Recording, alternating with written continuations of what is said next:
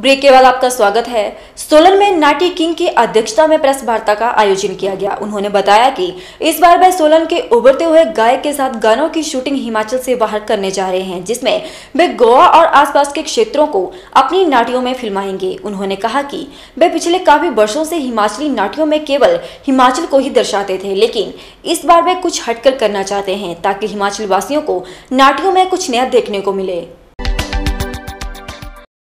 सोलन के समीप छोटे से गाँव घरों के किसान पिछले काफ़ी वर्षों से पानी के किल्लत की वजह से बेहद परेशान थे। उनके गाँव में खेती के लिए पानी उपलब्ध नहीं था, जिसकी वजह से उनके खेत खलियान सूखते जा रहे थे। काफ़ी वर्षों पहले वहाँ कुल हुआ करती थी। लेकिन खनन की वजह से यहाँ कुल्ले टूट गई और उनके टूटते ही उनके खेत भी सूखने आरंभ हो गए थे। गाँव के किसान पिछले काफ़ी वर्षों से पानी की कुल को ठीक करवाने की मांग कर रहे थे, लेकिन उनकी कोई सुनवाई नहीं हो रही थी। इसलिए उन्होंने अब भाजपा नेता राजेश कश्यप से संपर्क किया और उन्हें अपने गाँव की समस्या से अवगत करवाया। राजेश कश्यप गाँव वासियों को लेकर उपायुक्त से मिले, जहाँ उन्हें अब कुल निर्माण का आश्वासन दे दिया गया है, जिसके चलते गाँव वासी खुश नज़र आ रहे हैं। भाजपा नेता राजेश कश्यप ने बताया कि घरू गाँव के पास चल रही रेत के खानों की वजह से वहाँ की कुल टूट चुकी थी, जिसकी वजह से किसानों के खेत सूखने की कगार पर पहुँच चुके थे। उनका कृषि व्यवसाय चौपट हो गया था। उन्होंने बताया कि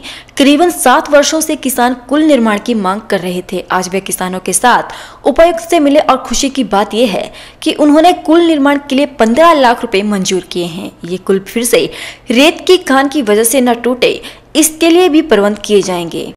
पिछले सात सालों से ये जो कुल है, ये टूट गई थी।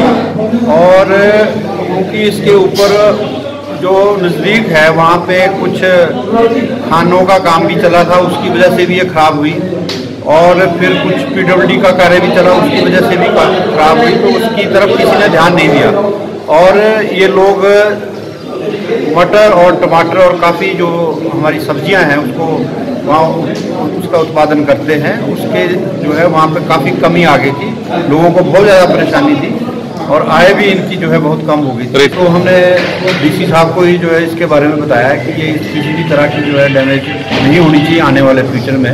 तो उसके लिए जो है अभी वो डंगे लगा करके और उसका पक्का जो है निर्माण किया जाएगा क्योंकि पहले ये कच्ची कुल थी अभी पक्का का निर्माण किया जा रहा है। लोग हैं वो सभी यहाँ आए हैं और उन्होंने पहले डिमांड की थी कि भी इस तरह से इस जो पुल है उसको जल्दी से जल्दी तैयार किया जाए। उसका एक नक्शा भी जो रिकन्स्ट्रक्शन का पहले आईपीएस डिपार्टमेंट ने तैयार करके दिया है।